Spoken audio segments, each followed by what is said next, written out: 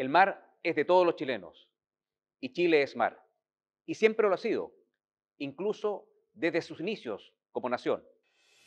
Por eso, cada día cobra más sentido celebrar el mes del mar, donde no solo recordamos el trascendente hecho histórico que marcó la Guerra del Pacífico, sino que además nos detenemos para, juntos, mirar al mar como una fuente inagotable de recursos y posibilidades, un verdadero motor del desarrollo de Chile.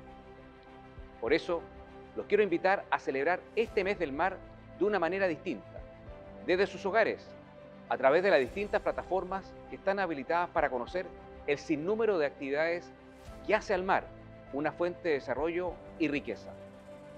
En un mes en que ponemos nuestra mirada en el mar, hagámoslo en familia, pensando en el futuro de Chile y en una pronta recuperación luego de un difícil año. Nuestra patria sabe de momentos complejos, pero como un solo pueblo, como una sola nación, unidos, siempre sabemos salir adelante. Este mes recordamos también la gesta de Prat a bordo de la Esmeralda, un héroe cuyos valores lo sitúan hoy como un ejemplo a seguir por todos nosotros, que lideró a su tripulación para enfrentar un gran desafío, el adversario, y lo logró por su convencimiento que podía superar las dificultades, pero siempre con un férreo trabajo en equipo. Por eso Pratt y sus camaradas son un guía en el navegar de los miles de hombres y mujeres que conforman las dotaciones de la Armada.